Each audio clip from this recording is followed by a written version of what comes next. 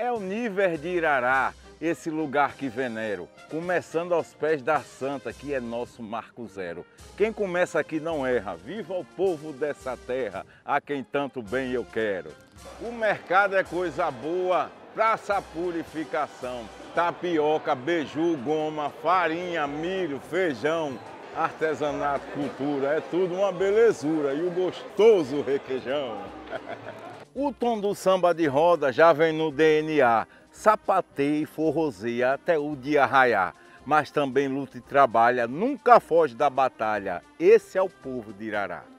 Nossa fé sempre gigante, não importa qual a crença. Quando se crê de verdade, não se espera recompensa. Seja com qual santo for, que o bem nos cubra de amor e a verdade sempre vença. Junto ao colonizador, indígena e africano, nesse taco de chão lindo do universo baiano, branco, vermelho e preto, balançando o coreto num tempero tão humano.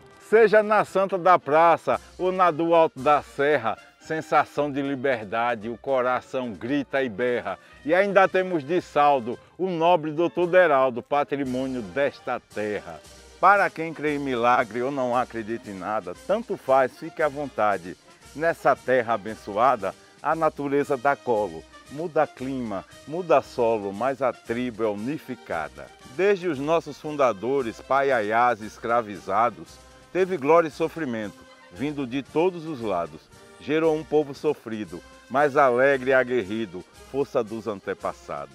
Charanga, samba, forró, abriosa filarmônica, burrinha e lindo amor, juntos de forma harmônica. Trio de Alfredo intrudo, depois que misturou tudo, fez-se a natural sinfônica. Essa gente de trabalho que adora a cultura, batalha de sol a sol, fortalece a agricultura, recarrega a energia, com a força da alegria, nossa essência mais pura. 180 anos completa nosso Irará. Já foi dito e repetido, que lugar melhor não há progresso e prosperidade. Queremos para essa cidade, nossa terra, nosso lar. A gente conquistar o que sempre sonhou. Ah, povo guerreiro, valente, festor irará. Ilumina a força de quem nasce com garra e fé. Pra trabalhar. O teu povo guerreiro, valente, festor irará. A força de quem nasce com garra e fé. Pra trabalhar.